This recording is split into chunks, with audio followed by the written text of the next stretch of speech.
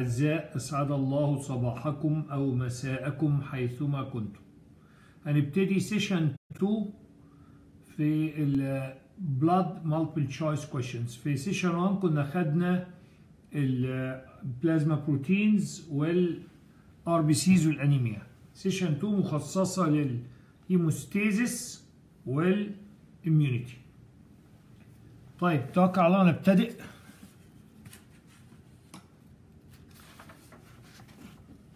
في عندنا إحنا اللوحات حوالي يعني إذا بصينا حوالي أكتر من 20 لوحة يعني ممكن نعتبرهم مثلا 22 لوحة 23 لوحة.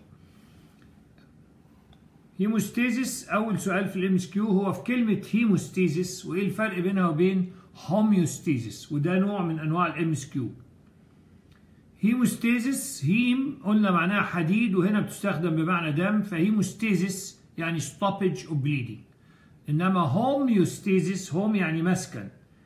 مسكن الخلية هو ال internal environment بتاعها اللي هو ال extra fluid معناها to keep the internal environment اللي هو ال extracellular fluid constant for optimum function of cells. تثبيت المسكن في الوضع الأمثل. مسكن الخلية اللي هو ال internal environment اللي هو ال extra fluid زي ما قلت السمك يعيش في الماء الخلايا تعيش في ال extra fluid فإنك أنت تحافظ على ال extra fluid يبقى أنت بتثبت مسكن الخلية. To keep the extracellular fluid اللي هو ال internal environment constant for optimum function of cells. إنما hemostasis يعني stoppage bleeding. ال steps of hemostasis إيقاف النزيف بأربع طرق. أول حاجة لما يتفتح ال vessel يا أولاد أسرع حاجة بتحصل in seconds بعمل vasoconstriction بقي اللعاء still في فتحة أهي. يبقى عايزين نحط لها سدادة. يبقى دي نمرة 2 temporary يعني مؤقت platelet plug plug يعني سدادة مصنوعة من الصفائح بصفة مؤقتة. النقطة المهمة اللي أحبكم تعرفوها إن في حالة ال small wounds وأعني بيها ال pin prick شكة الدبوس بنكتفي بال two mechanisms دول بس. مفيش blood coagulation واللي هما الاثنين مين اللي بيعملهم؟ ال vasoconstriction platelet plug الاثنين بال platelets عشان كده في ال pin prick إيقاف النزيف بيتم بدون جلطة. ووظيفته هو ده وظيفة ال platelets وبنختبرها بحاجة اسمها bleeding time يعني إيقاف النزيف بدون جلطة. بنعمل pin prick ونشوف إزاي ال platelets هتوقف النزيف بدون جلطة. هنشوف بعد شوية. أما لو كانت الجرح أكبر من pin prick فبالإضافة لواحد واثنين بنحتاج نعمل definite blood clot جلطة. اللي عبارة عن شبكة من بروتين خيطي اسمه فايبرين بيطلع من fibrinogen لسه قايلينه في ال session الأولاني. entangling أو trapping ال RBCs جوه ال RBCs والمعلومة المهمة جدا ما نقدرش نعمل جلطة غير على سطح ال platelets عشان كده سموا ال platelets thrombocytes خلايا الجلطة. وعلمتها الأجيال إن لم يحدث platelet aggregation فلن يحدث blood coagulation إذا ما عرفناش نجمع ال platelet ما نعرفش نعمل جلطة. عيب كده بقى الموضوع ده إن كده ال vessel اتقفل وال blood flow قل. فعشان كده الخطوة الرابعة بعد ما ال vessel يلتئم ويبقى كويس نشيل الكلام ده. ن dissolve ال blood clot نسيح الجلطة by plasmin دي الخطوة الرابعة. طيب هنمسك بقى خطوة خطوة من الخطوات الأربعة. يبقى اذا stoppage bleeding عندي هنتكلم عليه في أربع خطوات. أول حاجة لما ال vessel بيتفتح بنعمل له constriction إزاي؟ ثلاث طرق بطريقة سهلة وجميلة ومنظمة حاجة من بره حاجة في جدار الوعاء حاجة من جوه هي الأهم اللي باللون الأصفر في ال MCQ من بره nervous reflex بيعمل vasoconstriction reflex بيؤدي إلى vasoconstriction مبعثه سببه ال pain طيب تاني حاجة في ال wall نفسه. سبحان الله ربنا خلق ال muscles بتاعت ال blood vessel لما يحصل لها trauma حاجة كده يعني جواها تعمل vasoconstriction فنسميها local myogenic يعني حاجة generated في ال muscle. طب مبعثها إيه؟ trauma ما تتخبط لكن يبقى أهم حاجة بتعمل vasoconstriction يا أولاد هو ال platelets بتطلع مواد جوه الدم بتعمل constriction اللي هم ال serotonin وال thromboxane A2 اللي هو prostaglandins وال adenosine diphosphate. دول أهم ثلاث حاجات. يعني دول اللي بيجوا في ال MCQ والثلاثه بيطلعوا من ال platelets serotonin thromboxane A2 اللي هو prostaglandin و adenosine diphosphate نسميهم local humoral factor humoral يعني في السائل موجودين في السائل والمعني طبعا سائل الدم ودول بيطلعوا من platelets عشان كده قلنا ال vasoconstriction ده أساسا وظيفة ال platelets يعني platelets ثم platelets ثم platelets بال serotonin thromboxane A2 ADP ثم ال local myogenic contraction مبعثه ال trauma ثم reflex مبعثه ال pain في سؤال هنا MCQ مهم. إن أنت ال vessel ده عبارة عن ال muscle بتاعته في صورة حلقات. فلو قطعت ال vessel transversely يبقى أنت ما قطعتش الحلقات. يبقى الحلقات لسه قادرة إنها constrict لكن لو قطعت ال vessel longitudinal يبقى أنت قطعت الحلقات بوظت الاستمرارية بتاعتها. يبقى لما يجي constrict بالعكس هيفتح. فده سؤال في ال MCQ إن ال transverse cut أخف وطأة milder عن ال longitudinal cut سؤال MCQ مهم جدا. كانت هذه اللوحة الأولى. ابتدي يا أولاد اللوحة الثانية اللي هي هنقول platelets thrombocytes ال platelets بنسميها خلايا الجلطة أو thrombocytes في هذه اللوحة. أنا مش عاوز حاجات كتير مش ههتم بال structure إنما أنا يهمني إنك تعرف الفرق بين ال platelet اللي هي ال thrombocyte خلايا الجلطة وبين ال RBCs ال platelet biconvex ال RBCs كان biconcave ال platelets أصغر ال RBCs أكبر. ال RBCs ما فيهاش granules إنما ال platelets فيها كنوز اللي هي ال granules نوعين من ال granules اللي هو عبارة عن عندي في ال granules في ال alpha granules وفي عندنا نوع تاني من ال granules هنقوله دلوقتي حالا.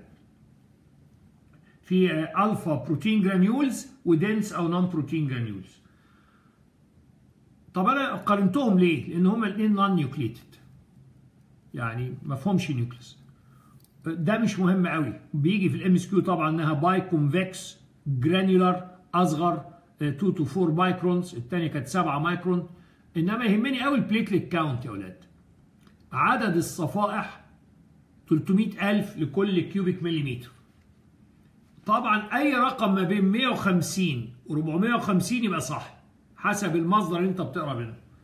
يعني طبعا في range فالأصح نقول من 150 ل 450 ألف. 300 ألف زي الفل.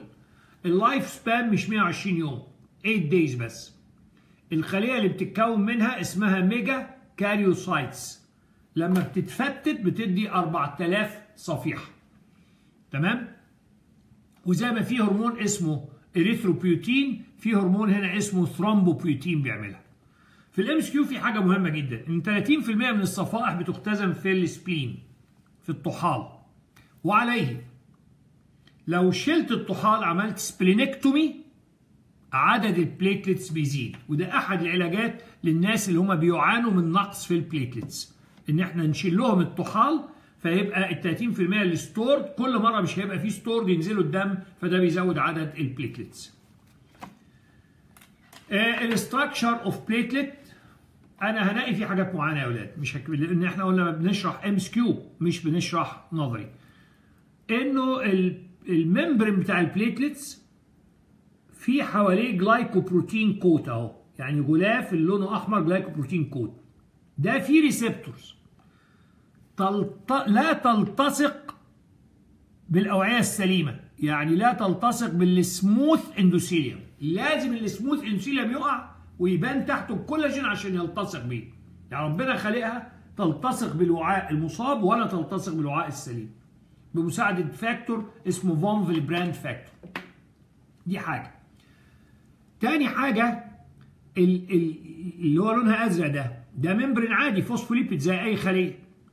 ده بي provide platelet factor 3 اللي هي السطح الملائم لتجمع ال clotting factor عشان يعمل جلطه عشان كده قلت إن لن يحدث platelet aggregation فلن يحدث blood coagulation إيه اللي في ال platelets خلو خلوها يسموها thrombocytes خلايا الجلطة؟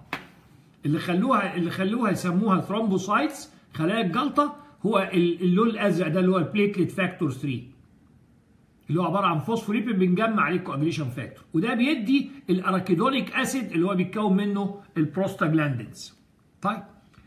آجي حاجة تاني ال granules دي مهمة قوي تبقى عارفها. طبعا في contractile protein في السيتوبلازم اللي هو ال actin وال myosin بيعصروا ال platelets عشان يطلعوا granules وبينقبلوا بالكالسيوم.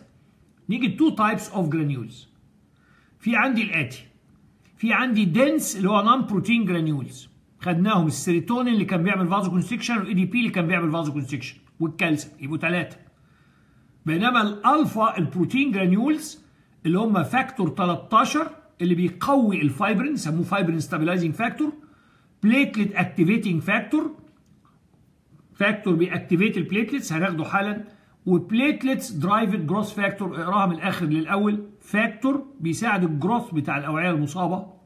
derived مشتق من ال platelets يبقى factor بيعمل growth للوعاء المصاب عشان يلتئم طالع من ال platelets فيسموه platelet derived growth factor يبقوا ثلاثة برضه. يبقى ده تبقى عارفه كسؤال MCQ يبقى في نوعين من الكنوز في ال platelets في dense granules اللي بشاور عليها اهو. دي مش بروتين دي non protein اللي هي السيروتونين بتاع ال vasoconstriction ADP خدناه حالا في ال vasoconstriction والكالسيوم. الكالسيوم اللي بيقبض ال actin وال myosin وبعدين في alpha or protein granules ثلاثة برضه factor 13 platelets activating factor and platelet derived growth factor دي كانت اللوحة الثانية ابتدي بقى الشغل المهم. platelet reactions أو platelet plug يعني السدادة بتاعت platelets السؤال بيجي بطريقتين. قلت جملة إنه كما يتحقق المهندس من سلامة الأبنية كذا تتحقق الصفائح من سلامة الأوعية. يعني زي ما الراجل مهندس الحي بيمشي كده يشوف المباني سليمة ولا لأ بيمشي ال platelets في الأوعية الدموية تشوف ال vessel سليمة ولا لأ. طب بتعرف إزاي إنها مش سليمة؟ لا قلت لا يمكن وعاء هيتصدع من غير ما يقع الطلاء الداخلي زي الحائط بالظبط الفسيولوجي كما الحياة حائط عشان يتصدع لازم يحصل فيه شرخ. إنما لو الطلاء الداخلي متصل وزي الفل لا يمكن يبقى الحائط تحته متصدع. أي تصدع هيوقع أول حاجة الطلاء الداخلي اللي هي في حالتنا هنا ال endothelia. فهيبان في في الحائط الأسمنت يبان عندنا ال collagen fiber. فإزاي ال platelets تعرف الوعاء مصاب شافت كولاجين فأول خطوة من من من ردة الفعل عندها ست حاجات عشان كده يسموها platelet reactions ردة فعل ال platelets الاصابه هتعمل reaction هينتهي ب plug بالسدادة عشان كده يسموها platelet plug فقلت ال platelets هتلتصق بال collagen fiber إن في receptor أهو في ال glycoprotein coat اللي باللون الأحمر تلتصق فقط بال collagen fibers بمساعدة ال von Willebrand factor. يبقى ده أول حاجة. قلت إن طبقة واحدة لا تكفي.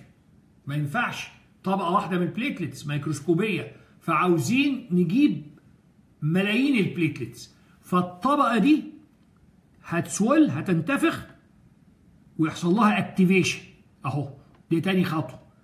يبقى activation platelets تالت خطوة هيحصل release تطلع الكنوز اللي داخلها. release reaction اللي من شأنها إنها تجمع other platelets تعمل لهم اجريجيشن خلاص؟ من أول ما نعمل اجريجيشن قبل ما نوصل لل plug لسه ما عملناش plug تبتدي عملية التجلط. يعني التجلط نقطة في ال MCQ مهمة جدا. بيبتدي من أول ما حصل platelet aggregation مش لما يحصل platelet plug ف once حصل اجريجيشن بقى في وسط أمثل لبداية التجلط. فنسميها procoagulant activity نبتدي عملية التجلط. بعد كده ال platelets اللي اتجمعت تفيوز مع بعض وتدي platelet plug اللي هي السداده إيه الفرق قلت بين ال aggregation وال fusion؟ ان ده reversible وتقدر تعد كل platelet لوحدها. انما ال fusion irreversible وبقوا amalgamated يعني عاملين كتلة متصلة واحدة. يبقى عندي ست reactions يا ولاد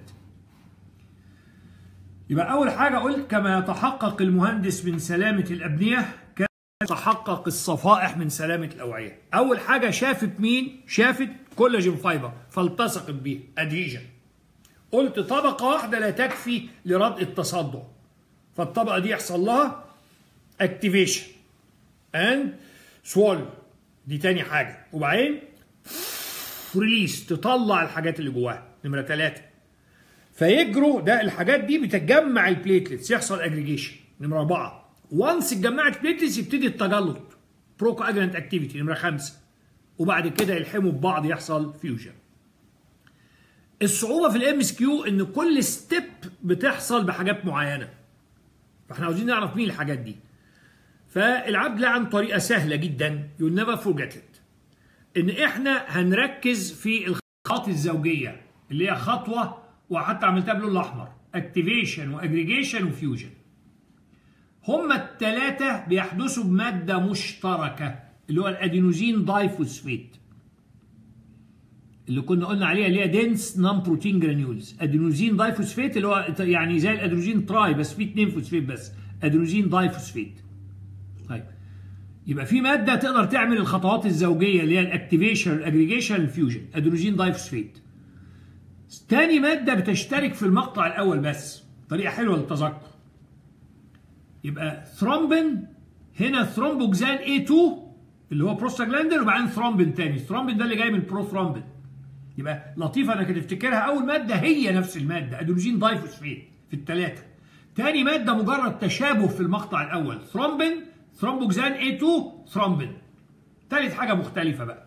مين ساعد ال activation ال adhesion اللي قبله. كده خلصنا ال activation طب مين ساعد الاجريجيشن قلناها. ال platelet activating factor اللي هو كان alpha protein granules platelet activating factor مين ساعد ال fusion enzymes؟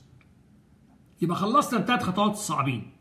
يبقى الثلاثه السهلين. أول واحدة كنا قلنا ال adhesion من التصق بمن؟ ال receptor بتاعت ال glycoprotein coat التصقت في ال collagen fiber. اهي بشاور عليها. من المادة اللاصقة؟ ال von Willebrand factor. اللي هو جزء من factor 8 بتاع التجلط وهنفهم إن von Willebrand factor ده اللي ما يعرفوش الزملاء يسمعوني. نقصه ده أهم سبب في العالم لل failure of coagulation واحد في كل 100 في عالمنا هذا ما عندهمش ال von Willebrand factor ده ناقص. ولكن thank God إنه it's a very mild form of coagulation defect شائع بس خفيف. ال von Willebrand اللي هو حتة من 8 طيب إزاي بيحصل release سهلة. انه الكالسيوم هيكونتراكت الاكتين والمايسين هيسكويز البليتلتس يطلعوا ال granules يبقى release بالكالسيوم. طيب إيه الحاجة في ال platelets اللي لازمة للتجلط؟ قلناها. إن سطح ال platelet ال phospholipid membrane هو اللي بنجمع عليه ال coagulation factor وبتدي التجلط. يبقى بأي طريقة ال platelet بتساعد في التجلط؟ إن ال clot ال clotting factor بتتجمع على ال membrane بتاع ال platelet هو ال membrane phospholipid اللي اسمه platelet factor 3 أدي واحد من أصعب الأسئلة اللي هو ال platelet reactions يبقى تاني نقولها في عجالة لأهميتها. يبقى أول خطوة إن ال platelet شافت ال collagen fiber وقعت ال endothelium فيه فأول حاجة التصقت adhesion طبقة واحدة لا تكفي. حصل لها activation و swell تاني خطوة. وبعدين release طلعت ال granules اللي جواها. فاتجمعت other platelets aggregation رابع خطوة من أول ما جمعناها نقدر نعمل تجلط procoagulant activity خامس خطوة وبعدين يلحموا ببعض fusion إزاي هتفتكرها؟ قلت تفكر فيهم في مجموعتين الطريقة الرائعة العبد اللي بحب أقولها والناس بتفهمها بيها اللي هو الأعداد الزوجية activation aggregation and fusion باللون الأحمر أهو.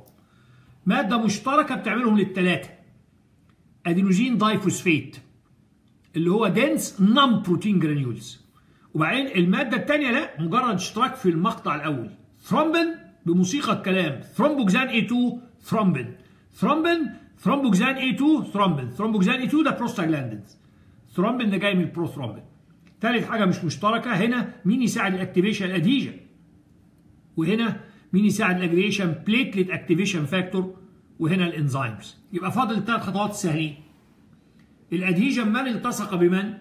ال receptor بتاعت ال glycoprotein coat التصقت بال collagen fiber بمساعدة جزء من factor 8 بتاع التجلط اسمه von Willebrand factor وبعدين إزاي حصل release ال actin وال myosin انقبضوا ما تقولش الكلام ده تقول بوست الكالسيوم قبضوا ال actomyosin تبقى فاهم؟ عصروا ال platelets طلع منها المواد أهي. طيب بأية طريقة ال platelets مهمة للتجلط ال clotting factor بيتجمعوا على ال membrane بتاع ال platelets اللي هو فوسفوليبيد اللي اسمه platelet factor 3 خلص القصة سهلة جدا. نيجي بقى في ال MCQ في مادتين مهمين جدا يا أولاد. أو قبل ما نجي لهم تعالى نقول طيب ال functions of platelets في ال hemostasis أنا بقولها بطريقة جميلة قوي طبعا هي بتساعد ال blood coagulation عن طريق platelet factor 3 إنما بتعمل حاجتين قبل التجلط. وحاجتين بعد التجلط يعني كأن actually خمس وظائف. إن لا ان, لم يحدث platelet aggregation فلن يحدث blood coagulation عن طريق platelet factor 3 طب في اثنين قبليهم قلناها في الصفحه اللي قبلها. إن لو لو pin prick صغير شك الدبوس مش محتاجين جلطة خالص. كان مين بيعمل ال vasoconstriction ال platelets بال serotonin وال thromboxane A2 وال ADP قلناها السيروتونين ده ما بزهقش. dense non protein granules ال thromboxane A2 ده prostaglandins ال ADP ده زي السيروتونين اللي هو non protein granules خلاص؟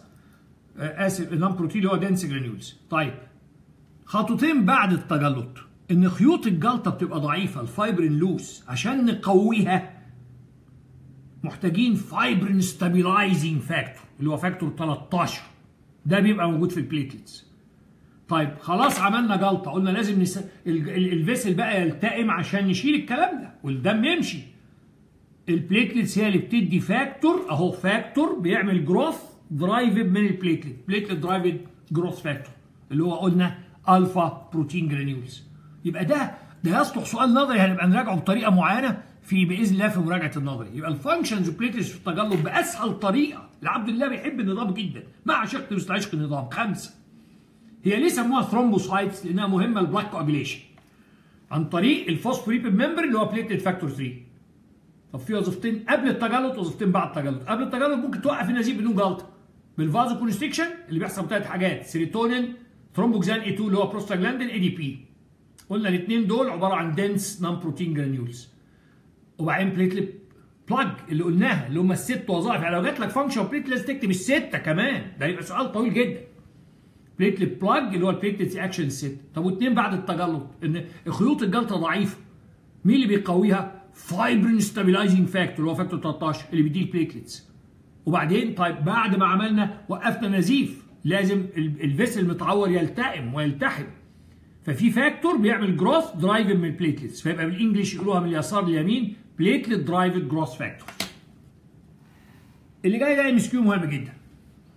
نحن العرب نعلم إن كل حاجة ربنا عاملها على ميزان. فربنا عامل مادة مع ال hemostasis وطبعا ما بعثها ال platelets. ال platelets دي مخها كله إيقاف نزيف. مش وظيفة غير hemostasis. وخلية أخرى ما بتحبش ال hemostasis لأن ال hemostasis فيه عيب خطير فكر.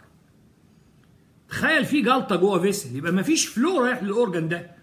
يبقى مين اللي ما يحبش ال hemostasis ال vessel السليم؟ مش عاوز الكلام ده. من يمثله؟ ال endothelium ففي خليه مخها في ال hemostasis. تطلق مادة هي الأساس في ال hemostasis platelets المادة دي اسمها thromboxane A2 prostaglandins ال endothelium اللي هو الممثل لل vessel السليم مش عاوز الكلام ده. يطلق بروستاجلاندين برضه آخر. يمنع ال hemostasis اسمه prostacyclin يبقى two prostaglandins وقلت البروستاجلاندينز دي طالعة من من ال lipid من الفوسفوليبيد صح؟ من ال membrane.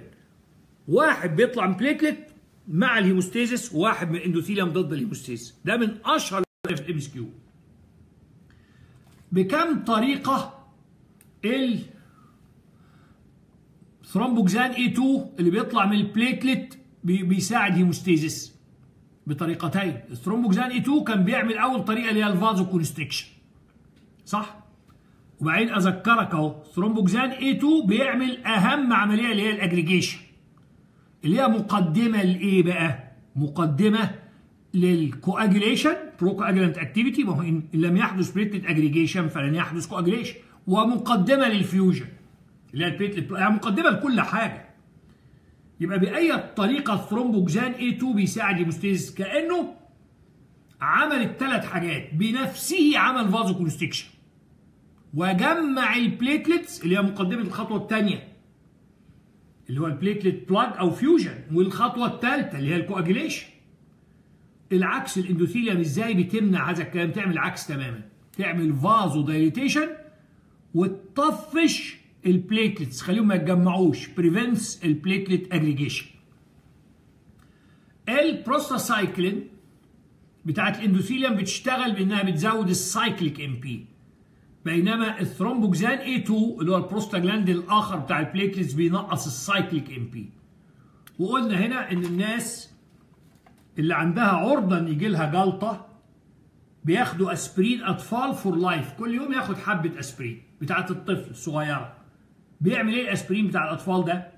بيقلل ال enzymes اللي بتكون الاثنين ال thromboxane A2 وال prostacyclin الاثنين بس اللي بيحصل مين بيفوق قبل الثاني ال prostacyclin الإنزيم اللي بتعمل المادة الحلوة ال prostacyclin اللي بتمنع ال hemostasis بت recover قبل الإنزيم بتاع ال thromboxane A2 فيبقى عندي المادة اللي بتمنع ال hemostasis وما عنديش المادة اللي بتعمل جلطة وإيقاف نزيف وحاجات زي كده.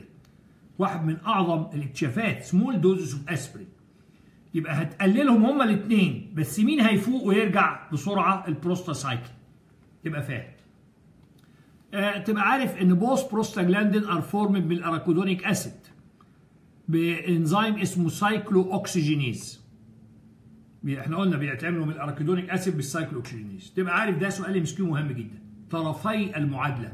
مادة مع ال hemostasis يطلقها الخلية المهتمه بال hemostasis ال platelets اللي هي ال thromboxane A2 ومادة لا تحب ال hemostasis يطلقها الخلية اللي, بت... اللي تعني سلامة ال vessel ال endothelial اللي هي ال prostacyclin إزاي ال thromboxane A2 بيساعد ال hemostasis بنفسه بيعمل أول حاجة vasoconstriction وقام بيعمل العملية الثانية اللي هو ال plug والثالثة ال coagulation indirectly انه بيجمع ال platelets platelet aggregation اتجمعت هتفيوز تعمل plug platelet plug اتجمعت هيتجمع عليها coagulation factor ويحصل جلطة.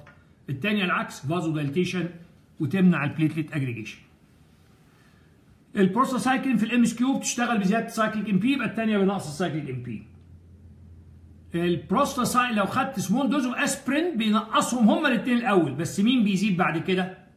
المادة الحلوة prostacyclin دي من الصفحات المهمة جدا. يبقى اتكلمنا على ال vasoconstriction واتكلمنا على ال platelet plug نيجي العملية الثالثه اللي هي ال blood coagulation قلت بدأوا يعني فهم نظرية التجلط في ألمانيا فعشان كده هشرحها كما حدثت. في سنة 1918 أهي. إيه هنشرحها كما حدثت. قلنا إن الجلطة يا أولاد عبارة عن بروتين خيطي اسمه fibrin. once رميت شبكة في ال blood أكتر سمك في ال blood هتصطادوا مين؟ كرات الدم الحمراء فيبقى الجلطة عبارة عن إيه يا أولاد؟ بروتين خيطي fibrin in يعني بروتين و fiber يعني خيط. بروتين خيطي trapping RBCs طيب ده موجود في صورة سابقة دايبة اسمها fibrinogen اللي هو plasma protein وقلت fibrinogen يعني المادة اللي بتعمل genesis لل fiber وعشان كده ده factor 1 إيه الفرق بين ال fibrinogen وال fibrin؟ ال fibrinogen دايب إنما الفايبرين خيوط مش دايبة insoluble. ال fibrinogen 6 peptide chains ال fibrin ده أربعة بس. يبقى أنا عاوز أربعة من الست. يبقى الطالب ذكي. يبقى محتاج proteolytic enzyme يكسر لي الستة دول ياخد لي منهم أربعة اللي هو الفايبر اللي هو ال thrombus اللي بيعمل الجلطة. خلاص؟ بس طبعا ده أخطر قرار قلنا في الجسم إنك تعمل جلطة ده أخطر قرار. ثرومب البروتين اللي يعمل الجلطة. ليه؟ افهمني. اتعورت وما عملتش جلطة تموت من نزيف طب بدون إصابة عملت جلطة؟ جلطة في القلب بدون إصابة؟ ده, الس... ده أهم سبب للوفاة في العالم. قلت واحد في كل ثلاثة بيموت من جلطة خطأ في القلب. يبقى ده أخطر قرار في الجسم. ما تعملش جلطة إلا لما يكون في إصابة. لازم يتلازم الشيئان. الجلطة مع الإصابة. إصابة بدون جلطة موت بنزيف جلطة بدون إصابة موت من جلطة في القلب. فعشان كده عشان كده ربنا خلى هذا الإنزيم ال proteolytic enzyme ال thrombin اللي بيكسر أربعة من ال fibrinogen الأربعة فايبرين في صورة غير نشطة اسمها شوف pro pro يعني قبل برو ثرومبين ويبقى ده factor اتنين. يبقى أول factor فاهم النظرية ماشية إزاي؟ هو اللي بيعمل الجلطة اللي هو ال fibrin factor واحد. طب أنا عاوز أربعة من الست عشان يبقى بدل ما كان soluble يبقى insoluble يبقى خيوط insoluble عاملة جلطة. محتاج proteolytic enzyme اسمه ثرومبين بقول لك معلومة حلوة؟ كل ال coagulation factor proteolytic enzymes مش بس الثرومبين. عشان تفتكرها. إيه موجود صورة غير نشطه اسمها بروثرومبين يدي ثرومبين قرار بهذه الخطورة إنك هتنشط الإنزيم اللي بيعمل الجلطة الجلطة محتاج مجلس شورى. مش واحد ياخد القرار لوحده. الفسيولوجي كما الحياة. فمين اللي بينشط ال prothrombin ال thrombin complex هو اللي بيعمل ال prothrombin activation بينشط بروثرومبين فاسمه prothrombin activation complex. مجلس الشورى يتكون من أربع أعضاء. بشرح كأني بحكي بحكي الفسيولوجي عشان تفهموا. مجلس الشورى اللي بياخد أخطر قرار في جسمك؟ إنه ينشط ال prothrombin ل thrombin وبالتالي يحصل جلطة بيتكون من أربع أعضاء. رقمين وكلمتين. factor خمسة وعشرة. حتى حلوين في الحفظ. خمسة وعشرة. وكلمتين كالسيوم وفوسفوليبيد. فاكر اللي هو platelet factor 3 خدناه. يبقى كالسيوم وفوسفوليبيد. طالع من ال platelet يبقى خمسة و10 وكالسيوم وفوسفوليبيد. كل مجلس شورى له زعيم. مين زعيم مجلس الشورى؟ 10 لازم يبقى في ال active form كمان ليه 10 ده مهم؟ زي في ال parasympathetic ال vagus 10 كان أهم واحد. مارادونا. في مجلس الشورى اللي بينشط ال prothrombin ل thrombin 10 ده مهم. في كام طريقة لتنشيط 10 قال لك في سكتين. يا سكة 7 يا سكة 8 حلوة الأعداد. يا 7 8 ولازم تكتبهم باللاتيني. خمسة جنبيها شرطين يبقى سبعة. هنا خمسة جنبيها ثلاثة يبقى ثمانية سبعة يتحدث عن نفسه. بيقول أنا عشان أنشط عشرة وأعمل جلطة اللي هو أخطر قرار هاتولي دليل إصابة. فجبنا له الدليل من خارج الدم من خارج الدم من ال tissue thromboplastin يبقى حاجة من ال tissue لعمل الجلطة. plastin يعني تخليق. thrombo يعني جلطة. حاجة من ال tissue لتخليق الجلطة. جبناها من بره الدم ال tissue آه عشان كده عشان كده سموها extrinsic pathway لأن دليل الإصابة كان من بره. وقلت بأرجع للمحاضرات بتاعتي ليه ده دليل إصابة؟ هقولها في عجالة. سبعة ده في الدم. إيه اللي هيجيب حاجة من ال tissue اللي في ال tissue tissue thromboplastin لحاجة في الدم؟ إلا لو ال blood التقى بال tissue. افتح ودنك. إلا لو ال blood ساح على ال tissue فسبعة جه in contact مع ال tissue وده معناه إن في إصابة. فعشان كده سموها اكسترينسيك باثوي نيجي الناحية الثانية 8 8 قال أنا عشان أنشط 10 عاوز معايا أخويا 9 ما ينشطنيش أنا ناشط بس عاوز أخويا 9 معايا. 9 قال أنا عاوز أخويا 11 ينشطني. الفرق إن 8 عاوز 9 معاه بس مش عاوزه ينشطه. إنما 9 عاوز 11 ينشطه. و11 قال عاوز أخويا 12 ينشطني. مش هنخلص خلصنا. 12 قال ادوني دليل إصابة. يجيبوا له منين دليل اصابه هنا جبناه له من جوه ال vessel إن ال endothelium وقعت وبان الكولاجين. فلما 12 شاف الكولاجين اتنشط وعمل العملية كاملة. هنا دليل الإصابة جوه عشان كده سموها intrinsic pathway يبقى كلمة extrinsic و intrinsic مش حسب جوه الجسم وبره الجسم. دليل الإصابة جه منين؟ جه من جوه ال vessel من الكولاجين تبقى intrinsic جه من ال tissue تبقى extrinsic واحد يقول لي طب أنا أنت حفظتنا سبعة وهنا مش عارفين نحفظه. حفظها بطريقة سهلة قوي ال extrinsic pathway بطولة مطلقة ل factor سبعة. مفيش غيره. قيس ليلى أما أقول factor سبعة يبقى extrinsic ما ال extrinsic pathway إلا factor سبعة وما factor سبعة إلا ال extrinsic pathway خلاص كده لزقت سبعة يعني extrinsic طب نيجي للناحية الثانية أربعة factors حفظوها بطريقة لطيفة قوي. بسميهم الزفة. مين العريس؟ مين أهم factor أهو؟ 10 2 قبل 10 على يمينه و2 على شماله.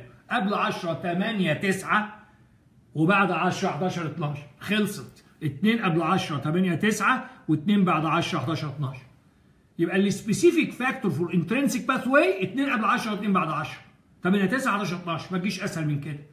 إنما ال extrinsic بطولة مطلقه اللي هي ال factor 7 السؤال الرائع. طالب ياما سألهوني هنا وهناك هو ليه في two pathways فكر معايا. تفتكر مين فيهم أسرع؟ طبعا ال extrinsic لأنه عاوز factor واحد.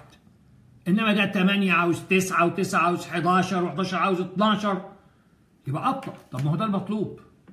يبقى واحد سريع بس less efficient اللي هو ال extrinsic. وواحد بطيء اللي هو ال intrinsic more efficient وده اللي بنعمله لما يبقى في مصاب في الشارع. في إسعاف أولي سريع بس less efficient وعلاج في المستشفى هياخد وقت بس more efficient فإحنا ربنا ادانا الاثنين يا أولاد بنبتدي بحاجة سريعة less efficient هي ال extrinsic ونكمل بحاجة أهم وهي ال intrinsic pathway طب هل يوجد علاقة بين الاثنين آه ده سؤال في ال MCQ. مش معناه ان كلهم في وادي. سبعة أهي الإجابة. بينشط تسعة. سبعة بتاع ال extrinsic بينشط أحد أعضاء ال intrinsic وهو تسعه حاجة جميلة خالص. خد بالك في الحالتين عاوزين phospholipid. ال phospholipid هنا طالع من ال platelet إنما الفوسفوليبيد هنا طالع من ال tissue. خلاص؟ ده تفتكر. ومحتاجين كالسيوم في كل الخطوات على فكرة. ما عدا أول خطوتين تبقى عارف. مين الأيون اللي مهم للتجلط؟ ionized calcium. محتاجينه 8 قلت يا أولاد مرت السنوات وعشان كده هتفهم ليه factor 13 جه بعد 12 اكتشفنا إن عدد من العيانين حظهم فقر. بعد ما عمل الجلطة والحمد لله عمل جلطة والنزيف وقف الجلطة تفككت ومات. بعد ما عمل جلطة؟ آه. أتاري الفايبرين ده الخيوط دي بتبقى monomer قطعة واحدة خيط ضعيف. لازم نعمل لهم polymerization عارف نجدلهم كده زي الضفيرة عشان يبقى حبل قوي اللي بيشدوا بيه السفن. اللي بيحول ال fibrin ال loose ل fibrin tight قوي ما يتقطعش. factor اسمه fibrin stabili- fibrin stabilizing factor اللي هو factor 13 عشان كده بعد 12 بحكي لك التاريخ. اكتشفوا 13 fibrin stabilizing factor بيقوي اللي هو factor 13 حتى بقولها بطريقة تنسى. مين العيان الفقر؟ اللي هو بعد ما عمل جلطة وهي جلطة وانبسطت عمل جلطة؟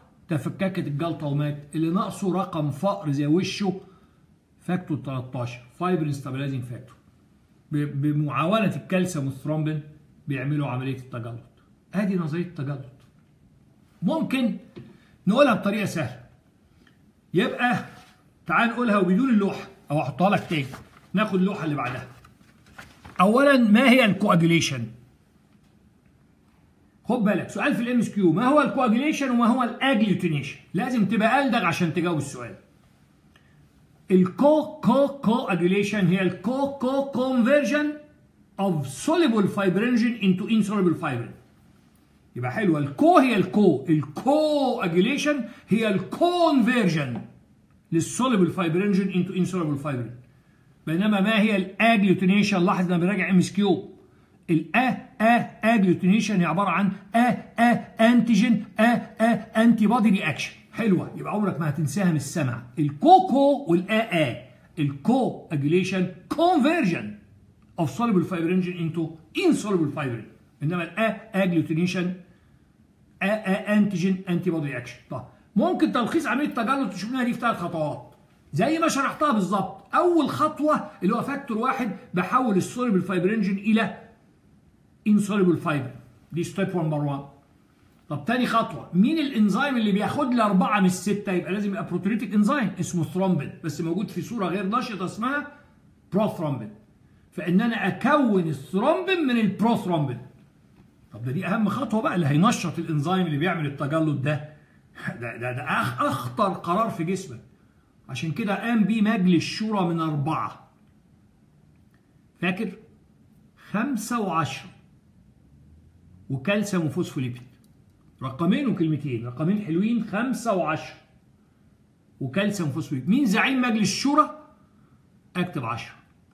طيب إزاي ننشط عشرة في سكتين؟ ال activation of 10 سكة سريعة فيها factor واحد. سبعة. احتاج دليل إصابة من بره من ال tissue عشان كده سميناها extrinsic pathway أو سكة أبطأ واحد ينشط التاني ينشط التالت. اللي هي سكة 8 خدناهم إزاي بقى؟ فاكر؟ 2 قبل 10 و2 بعد 10 8 عاوز 9 قبل 10 وبعدين بعد 10 و9 عاوز 11 و12 يبقى ده ال intrinsic pathway خلاص؟ يبقى في extrinsic يبقى ده ملخص جميل للقصة. طيب بيقول لك بيشتغلوا بطريقة cascade ده سؤال في ال MCQ صح. يعني إيه cascade شلال صغير. يعني 12 قلنا بقى لو خدناها من الأول 12 نشط 11 11 نشط 9 كل خطوة أقوى من سابقتها. ده فكرة الشلال الصغير كل ما بينزل المية بيتزايد سرعة المية بسبب الجاذبية. وأقول لك حاجة كل التفاعلات الكيميائيه في الجسم كاسكيد البايوكيمستري كله كاسكيد هو ما كانش يقدر ربنا خليها فقرة معلومات عامة.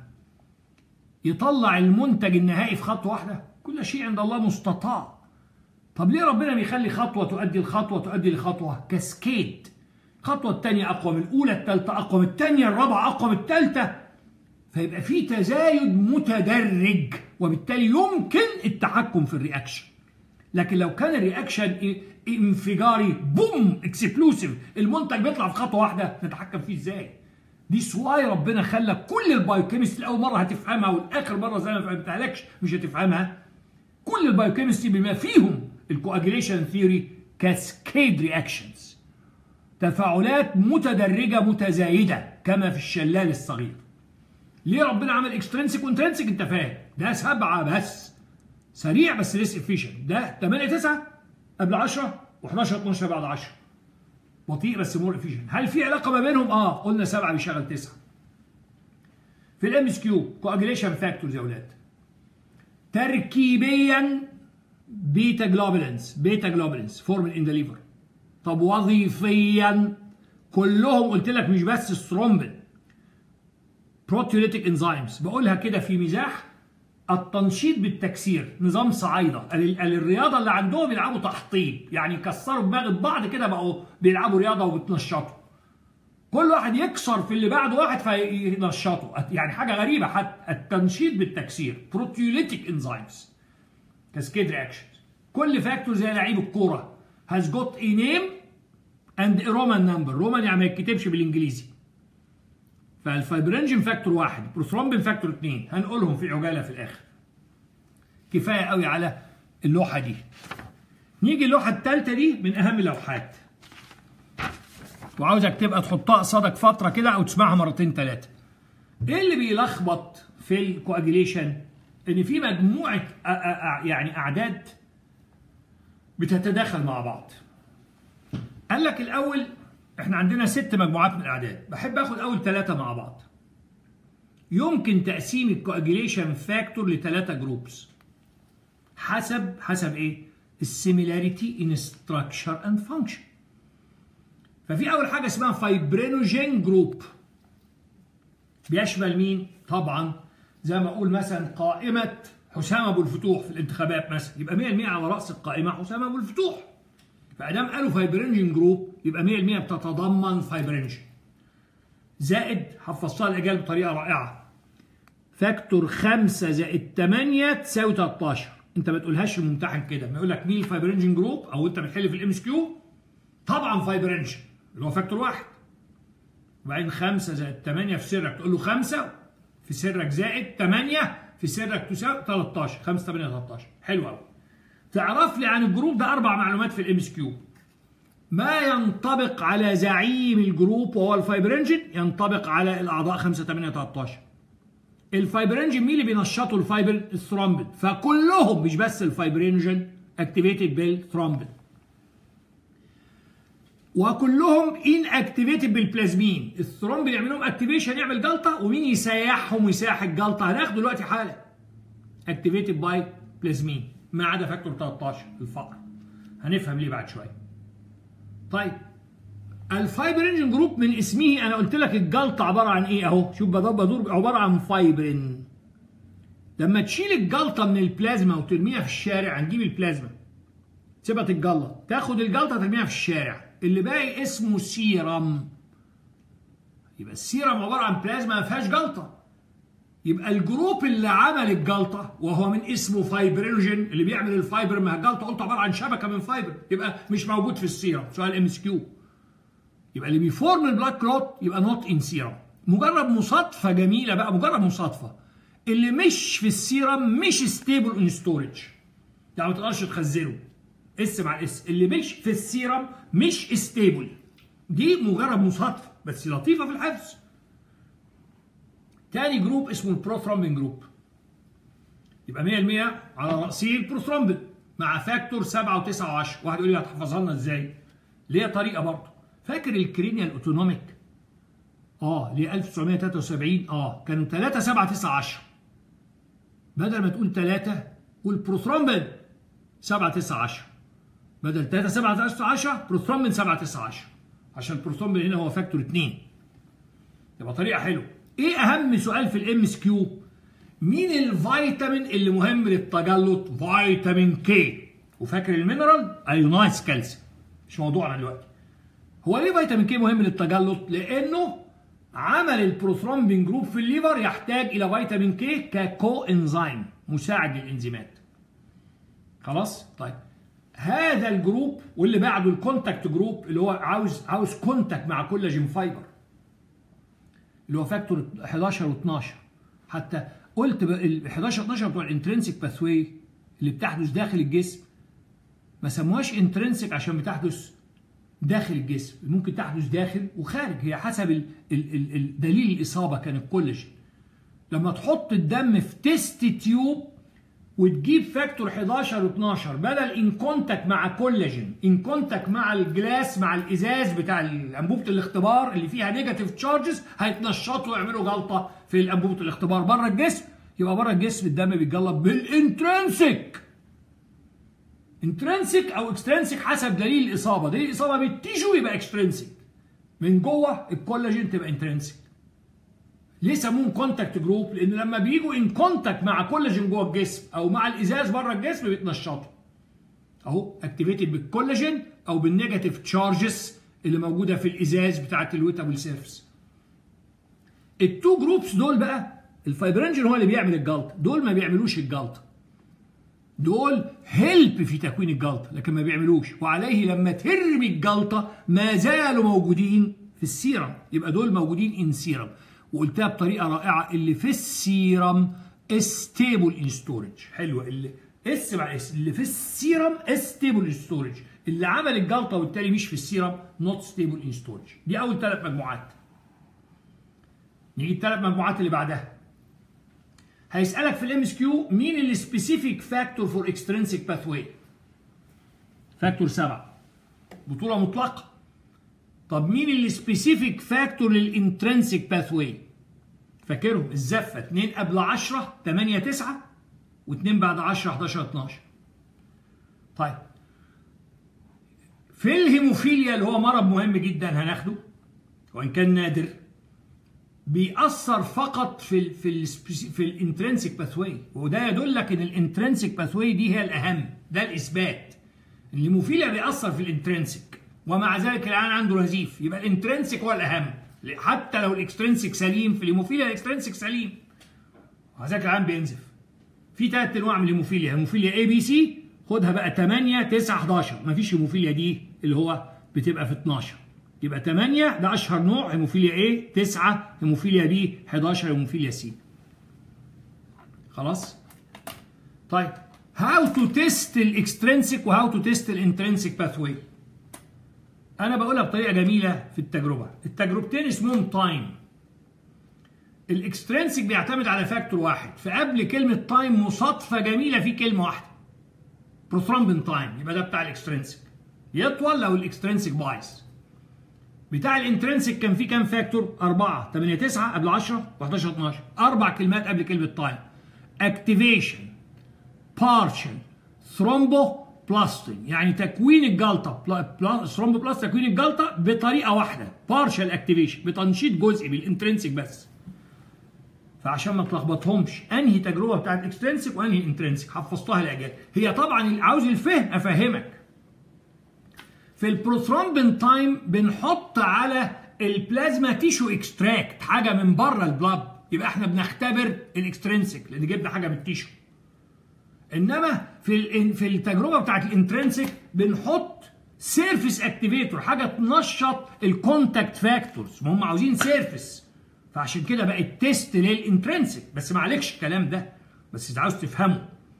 يعني ليه التجربة دي بتاعت ال intrinsic ودي مش عشان دي كلمة ودي أربع كلمات. ده دي بساعدك في الحفظ. هنا لأن حطينا حاجة من ال tissue.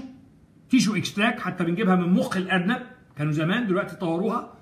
وهنا بنحط surface activate ال contact group اللي هو 11 و12 إنما عشان تفت... ما تلخبطهمش مين extrinsic ومين intrinsic ال extrinsic فيه factor واحد قبل كلمة time كلمة واحدة. ال intrinsic أربعة factor قبل كلمة time في أربع كلمات. المجموعة السادسة والأخيرة في أهم صفحة بتلخبط الطالب في ال coagulation تسمعها كذا مرة. الهيبارين ده anticoagulant ده عبسامين بولسي ما بيمنعش التجلط بنفسه. ده بينشط اللي بيمنع التجلط اللي اسمه antithrombin 3 اسم مش على مسمى antithrombin 3 ما بيمنعش التجلط بإنه بيمنع الثرومبين زي ما قلت واحد اتولد سموه نخلة وطلع قصير. فال antithrombin ملوش دعوة بالثرومبين لأنه بيمنع التجلط لإنه بيمنع أربعة factor هنا بقى أربعة ورا بعض 9 10 11 12 وبقولها بطريقه تنسى بيسعى في الخير. يبقى ابتدي برقم تسعة بيسعى في الخير. تسعة عشرة 11 12 ده activated بالهيبارين ده لوحة مهمة جدا. مش هقول فيها غير الأرقام بس وأنت اسمعها كذا مرة. fibr ثلاث ثلاثة groups بتوع التجلط. fibrinogen group fibrinogen 5 زائد 8 يساوي 13 prothrombin group زي ال cranial autonomic. بدل 3 7 9 10 بروثرومبين 7 9 10 contact group اللي بيحب يتلزق. 11 و12 ثلاثة تانيين بقى. مين اللي specific factor for extrinsic؟ سبعة. مين اللي specific factors for intrinsic ده سؤال MCQ لما يقول لك نقي تنقي سبعة لو بيتكلم عن extrinsic لو بيتكلم عن intrinsic تنقي واحد من أربعة. اثنين قبل 10 8 9 واثنين بعد 10 11 12 طب الهيبارين وال antithrombin 3 الهيبارين ينشط antithrombin 3 اللي بيوقف أربعة factor. بيسعى في الخير. يبقى 9 10 11 12 هنا ورا بعض بقى. مش 2 قبل 10 و2 بعد 10 زي ال specific دول. 2 قبل 10 2 ده. 9 10 11 12 هم من خبرة والعبد الله له خبرة في التدريس لا تضاهى آدي لو لو الصفحة دي وضحت مفيش حاجة هتتداخل في ال coagulation ست مجموعات ثلاثة ال factors مقسمين ال factors في ثلاث مجموعات وثلاثة ثلاث مجموعات تانيين. specific factor for intrinsic specific factor for extrinsic والهيبارين دي من أصعب اللوحات. أسماء ال factor. إحنا قلنا كل واحد زي لعيب كرة القدم. له اسم وله رقم. نقولها في عجالة. يعني أنا بستسخف لما زميل فاضل يجيب أسماء. وإحنا وإحنا حفيظة. كتاب. إنما يعني أنا عملتهم لك بطريقة سهلة شوية. أول factor حسب ما حكينا النظرية ال fibrinogen إن الجلطه عبارة عن فايبرين فالبروتين اللي بيكون الفايبرين واحد.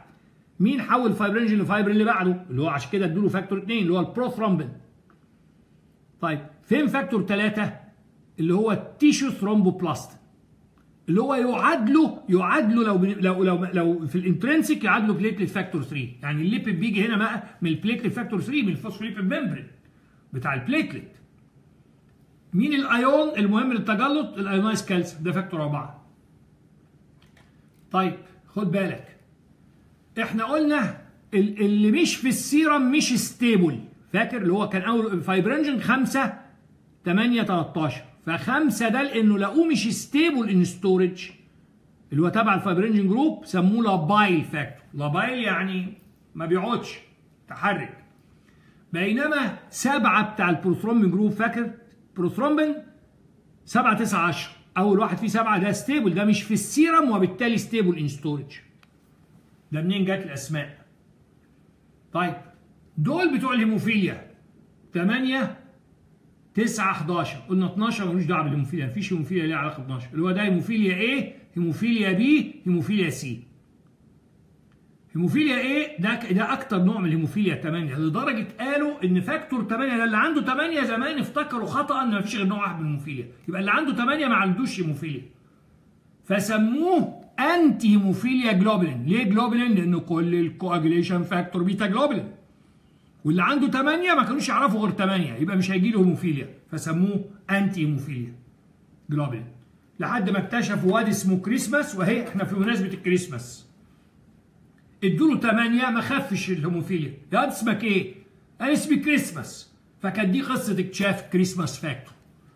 مش في مناسبة الكريسماس. الولد اسمه كريسماس. إحنا عندنا واد اسمه عيد هم عندهم واد اسمه كريسماس. غير ان في مناسبة اسمها كريسماس. عشان العبط ما بحبوش ما يعرفش terminology ما ينطقش ما يتكلمش. يسيب اللي عارف يتكلم.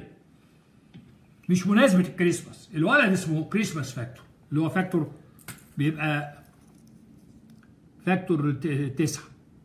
طبعا خلاص بقى. factor 11 يعني اللي يلدغ المؤمن من جحر مرتين اكتشفوا ممكن يبقى فيه هيموفيليا لسبب تاني. اكتشفوا فيه هيموفيليا لسبب ثالث اللي هو 11 factor في البلازما ما هو تبع ال intrinsic يبقى في البلازما مش من ال tissue. مهم لعمل الجلطة. فيسموه إيه؟ plasma thromboplastin يعني بيخلق الجلطة. antecedent يعني مخلق برضه. plasma thromboplastin antecedent اللي ما يعرفوش الزملاء ويعرفوه مني.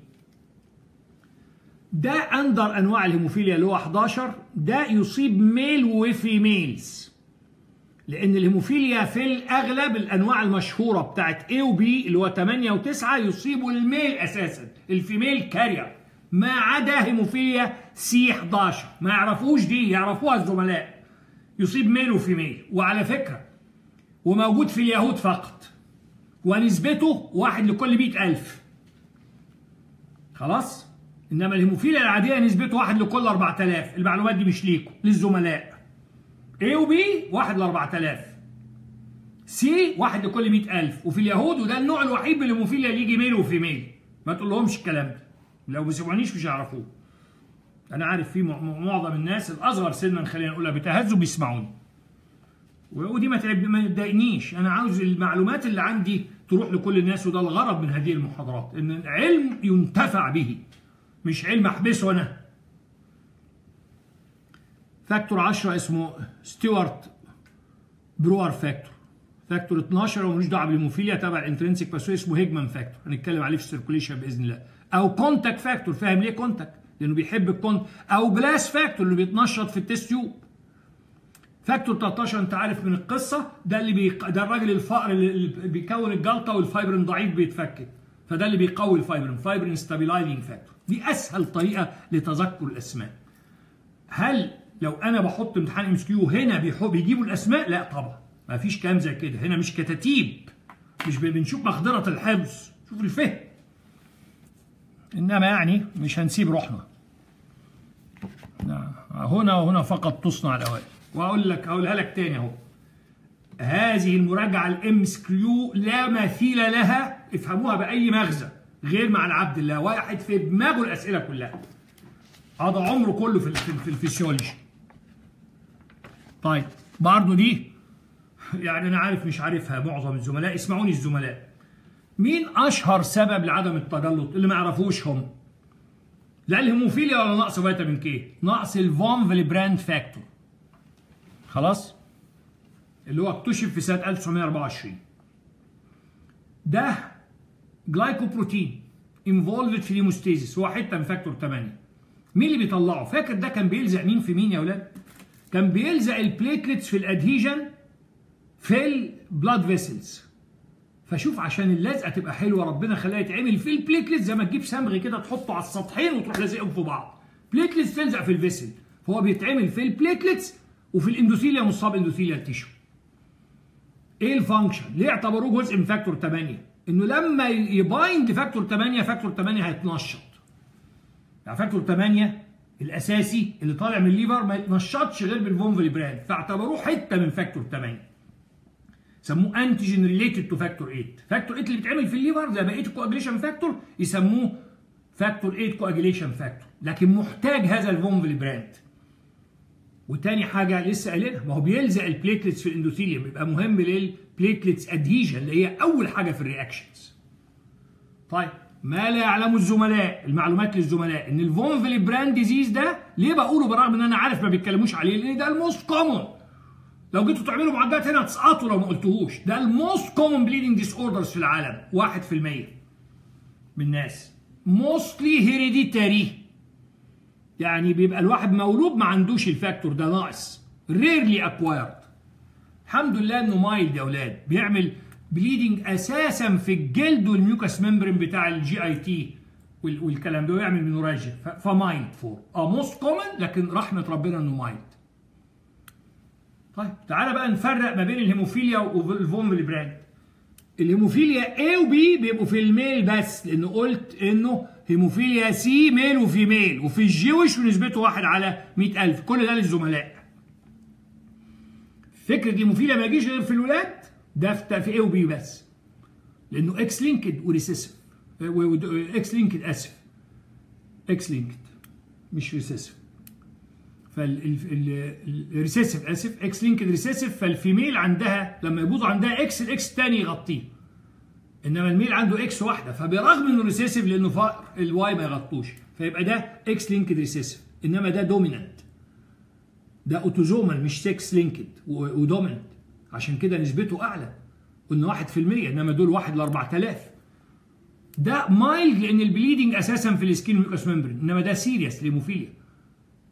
لأنه ال bleeding بيحصل في ال muscles في ال joints. تبقى عارف هذا الكلام كويس. hemophilia C قلت ده الوحيد اللي بيجي male و female وفي Jewish ونسبته 1 ل 100000 يبقى أنا حتى عاوز أبقى أكتب دي X-linked هكتبها دلوقتي حالا. و recessive أنا عارف المعلومات دي. يعني أنا مش بقولها عشان خاطر يعني أزود لا يا أولاد لأنها مهمة. يعني هتقولوا لي طب دكتور ناجي بيقولها ليه؟ أهي الأرقام لا تكذب يا أولاد. لما إزاي أهم the most common bleeding disorder في العالم اللي هو 1% ما نتكلمش عليه؟ اللي هو ال von Willebrand factor disease. إزاي يعني؟ فاهم واني. وعامل لك جدول اهو. بس مش هعيده كتير عشان خاطر ما يعني ما, ما نطولش. انما أنا عاوز أقول لك حاجة. سؤال هنا مهم جدا. ان إحنا اعتدنا ان لما ال coagulation time تبقى طويلة ال bleeding time بيبقى normal زي ما هنشوف ال bleeding time طويل يبقى ال coagulation time normal مين العيان اللي عنده ال bleeding وال coagulation time الاثنين طوال؟ ال von Willebrand disease فاهم ليه؟ لأن هو مهم ال factor 8 بتاع التجلط وعليه لو مش موجود يبقى ال coagulation time هتطول ومهم لل platelet reaction وال platelet دي هي المسؤولة عن ال bleeding time يبقى المرض الوحيد اللي فيه ال coagulation وال bleeding time بنحفظها لهم هنا prolonged اللي هو ال von Willebrand disease لأنه مهم للاثنين ل factor 8 ال coagulation وال platelets اللي هو إيقاف النزيف بدون جلطة. وده أكتر مرض 1% لكن thank God شوف رحمة ربنا يا أولاد. الله رحمن رحيم إنه لأنه 1% فهو mild form إنما لما أجي في الهيموفيليا ألاقي آه 1 ل 4000 آه بس serious لأن ال bleeding بيحصل في ال muscle وال joints مش في ال skin mucous membrane تمام؟ وقلت hemophilia C للزملاء الأصغر سنا عشان ما حدش يزعل. C ده بيجي male و female ده غير A و B خالص ونسبته قليلة جدا 1 ل 100000 وهو في ال Jewish people ده اللي بنقوله هنا يا أولاد عشان أبقى علمتكم على مستوى كويس. أنا باعني بالمحاضرات دي إن إحنا نعمل أطباء كويسين. وفوق البيعة نبقى الأوائل في الامتحانات. دي اللي فوق البيعة. طيب نيجي ال اللي بعدها. ال intrinsic وال extrinsic pathway أظن قلناهم. ده factor 7 ده قلنا 2 قبل 10 8 9 و2 بعد 10 11 12 طبعا ده ادام factor واحد يبقى ال onset سريع بعد 15 ثانية. ولكنه ليس efficient إنما ده slowly but surely واحد لست دقائق و more efficient خد بالك برغم إن ده اسمه intrinsic لكن بيحدث inside the body اللي بينشط ال contact factor هو الكولاجين اللي هو 11 و12 وبره الجسم ينشطهم الإزاز ال negative charges بتاعت السطح المبلول بتاع أنبوبة الاختبار. أهي activated بال collagen و activated بال glass زائد انه activated هناخدها في ال circulation يولاد بحاجة اسمها high molecular weight kininogen و kallikrein أنا بنقولها في اوانيها إنما ده activated بحاجة من بره اللي هو ال tissue thromboplastin طيب كفاية على دي كده. نيجي بقى عندي شوية تطبيقات على ال hemostasis. أول تطبيق ثلاث تطبيقات. يعني بعد ما قلنا الثلاث عمليات عندنا التطبيق الأول اللي هو ال anti-clotting mechanism صناعة الخالق. يعني قلنا واحد في كل ثلاثة في عالمنا هذا بيموت من جلطة خطأ. عشان يتأخر هذا الحدث فربنا عامل حاجات تحافظ على ال fluidity of blood على سيولة الدم اسمها anti-clotting mechanism سؤال مهم جدا. ثلاثة جنرال وثلاثة specific ناخد الثلاثة ال general limiting factor كل مرة نقول واحد تسبح في حمد الله بسبب ال factor دي. دي اللي بتأخر أهم سبب للموت. إن يا أولاد البلاد فيسل لاين بسموث اندوثيليوم طول ما في smooth endothelium مخبية وراها المصيبة اللي هي ال collagen fiber يبقى ال platelets مش هتتنشط لأن ال platelets ما بتلزقش غير في الكولاجين يبقى no activation of platelets في الجأس في ال smooth endothelium ال receptor بتاعتها بتاعت الجلايكوبروتين كوب ما بتلزقش في دي. وقلنا أول حاجة في ال intrinsic pathway اللي هي factor 12 و11 بتوع ال intrinsic بيتنشطوا بالكولاجين مش بال smooth. وعليه بقول لكم يا أولاد حافظوا على ال smooth endothelium على هذه النعمة. ما تاكلوش دهون كثيرة فتعملوا تصلب شرايين فتبوظوا ال smooth endothelium. تاني حاجة شوف الروعة. إن ربنا خلى ال liver اللي هو بيعمل كل ال coagulation factor اللي هو قلنا إن هم beta globulins و proteolytic enzymes لو factor رجع له تاني لقاه activated يعمل له inactivation يعني اللي بي اللي بيعملهم بيعمل لهم inactivation خلاص؟ عشان كده لما بيحصل slowing of blood واحد يقعد في الطيارة مثلا كذا ساعة ال circulation بقى بطيئة مش راضي يقوم يتمشى في الطيارة. يبقى ال active clotting factor مش هيلحق يروح ال liver. to be inactivated هيعمل جلطة اللي هو جلطة في الرجل وما شابه. يبقى الحركة بركة يا أولاد. يبقى ما تاكلش fat نمره واحد والحركة بركة. حتى لو عامل عملية حتى لو ست والدة بعد ساعات لازم تقوم تتمشى. عشان أي active clotting factor غلط خصوصا مع العملية وفي جروح وفي حاجات زي كده يلحق يروح ال liver to be inactivated ثالث حاجة يا أولاد الهيبارين. اللي قلنا بيشتغل إزاي؟ أهي هنجي لها في اللي بعدها. في ال specific حتى ابتدي بالهيبارين. كان بينشط الهيبارين عبد السلام نابلسي. ما بيمنعش التجلط بينشط اللي بيمنع التجلط اللي هو ال antithrombin 3 اللي بيعمل إيه ال antithrombin 3 ده؟ بيبوظ أربعة factors مش قلنا إن ال factor دي proteolytic enzymes فبيبوظ ال serine proteases أهي. بيخلي الانزيم ما يشتغلش. فما يحصلش جلط اللي هم قلنا بيسعى في الخير. فاكرهم؟ أربعة ورا بعض وتبتدي بتسعة تسعة 10 11 12 و facilitated by heparin أدي أول واحدة. طيب. فاضل اثنين في ال specific. واحدة قلناها اللي هو المادة اللي مع ال hemostasis اللي هي ال thromboxane A2 اللي هي البروستاجلاند اللي بتطلع من ال platelets اللي هي الخلية اللي تعنيها ال hemostasis. وربنا عامل طرف الميزان الثاني بروستاجلاندين آخر اسمه prostacyclin طالع من خلية تمثل ال vessel السليم اللي هو ال endothelium. وتعمل العكس تماما. vasodilatation وتمنع ال platelets aggregation عن طريق إنها تزود ال cyclic AMP فال cyclic AMP طفش ال platelets يمنع ال aggregation of platelets thromboxane A2 بينقص cyclic AMP فال platelets تتجمع يحصل vasoconstriction تكتب الكلام ده. ثم نيجي بقى ال fibrinolytic system طب افرض بعد ده كله حصل جلطة ما تخافش. ربنا زي ما عمل انزيم يعمل الجلطة اللي هو الثرومبين عمل انزيم يحطم الجلطة وهو البلازمين. موجود في البلازما فيسموه بلازمين حسب الموقع. طب وحسب الوظيفة يسموه fibrinolysin بيعمل lysis لل fibrin كسر أنهي group؟ مين ال group اللي بيعمل الجلطة؟ ال fibrinogen group. فبيكسر ال fibrinogen وخمسة زائد 8 بس ما بيكسرش 13 أقول لك ليه بعد شوية. اللي بيعمل الجلطة يضحضحه. كسر الفايبرين واللي يتشدد له ال fibrinogen وخمسة وثمانية بس 13 لا. اسمه بلازمين في البلازما. زي ما الثرومبين كان عنده مجلس شورى نشطه ده عنده حد ينشطه اسمه tissue plasminogen activator. يعني برضه ربنا حطه في صورة غير نشطة اسمها بلازمينوجين. عشان يتنشط محتاج tissue plasminogen activator. حوله لبلازمين.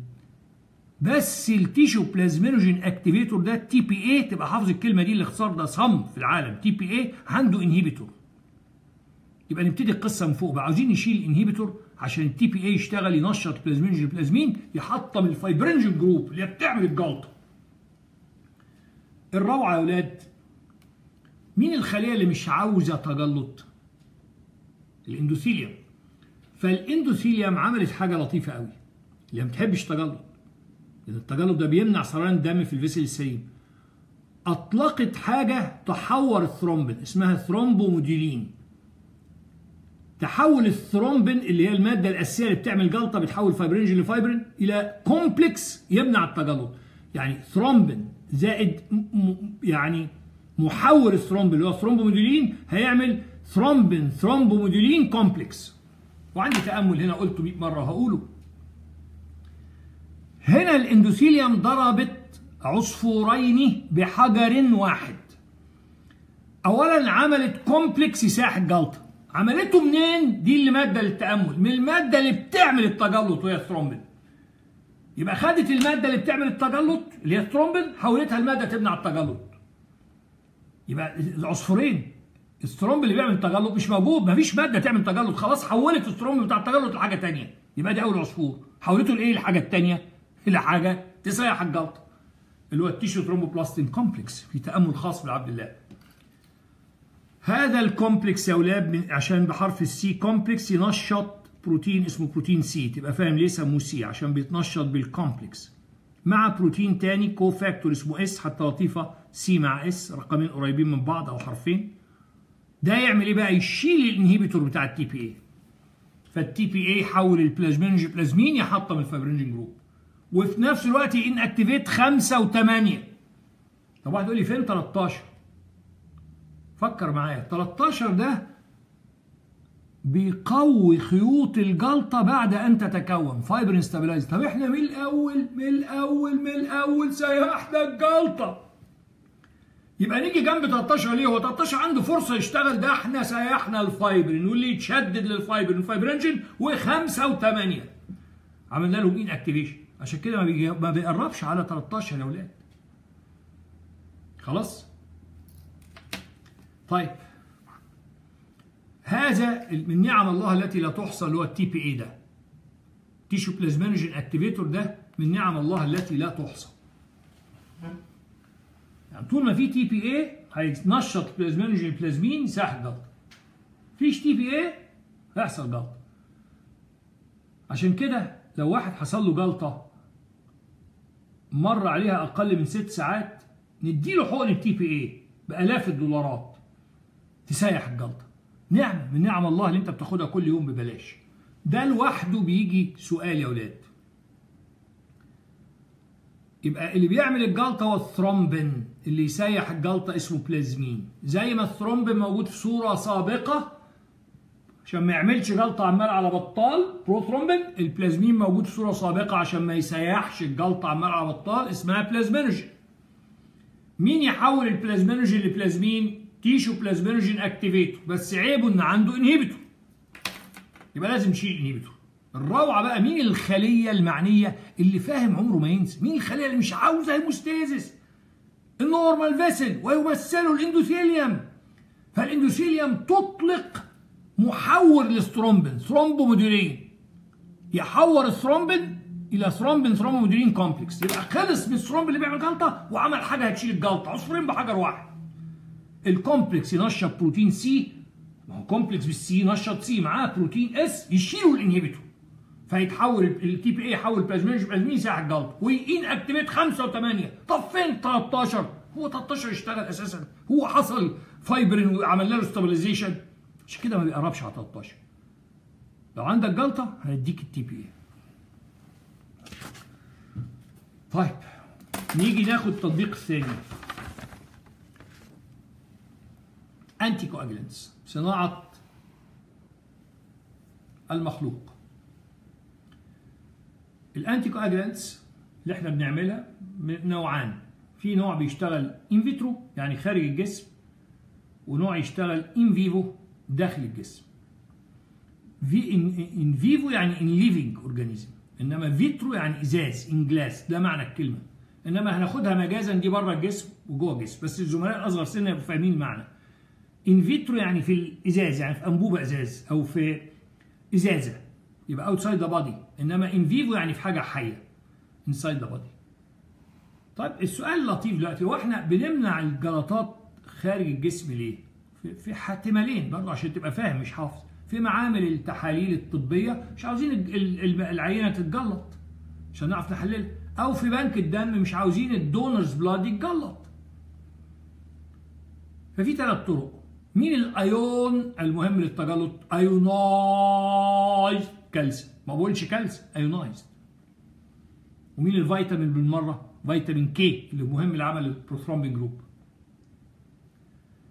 فيا إما ارسب الكالسيوم بال oxalate أو أحط citrate ما يرسبوش بس يخليه في صورة calcium citrate يعني غير متأين.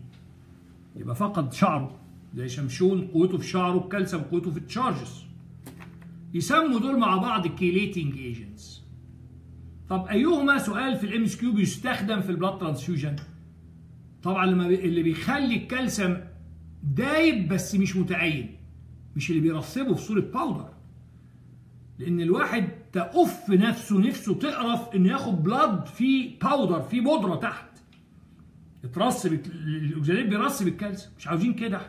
أنت ما تقدرش تشرب إزازة صودا فيها بودرة. يبقى تاخد دم فيه powder تحت. مش كده بيستخدموا ال citrate في ال blood transfusion تاني طريقة هيبارين. يعني الهيبارين ده natural anticoagulant من صناعة الخالق سبحان الله. ومن صناعة المخلوق anticoagulant إحنا بنعمله. في أي سؤال الهيبارين ده صح. natural anticoagulant صح. بيستخدم in vivo أهو in vitro صح in vivo برضه صح. الهيبارين ده في كل حتة في كل مكان. ثالث طريقة إنك أنت تمنع ال contact ما بين factor 11 و12 والإزاز. يبقى تبطن أنبوبة الإزاز بسيليكون أو ب wax بشمع. في الحالة دي مش هيحصل activation لل contact group دي الثلاث طرق. MCQ طيب. in vivo اللي هي inside the body في دوايين مهمين جدا. الهيبارين وال dicumarol أو coumarin derivative أو warfarin drug بيسموه. كل ده صح. dicumarol coumarin derivatives warfarin ده كله صح.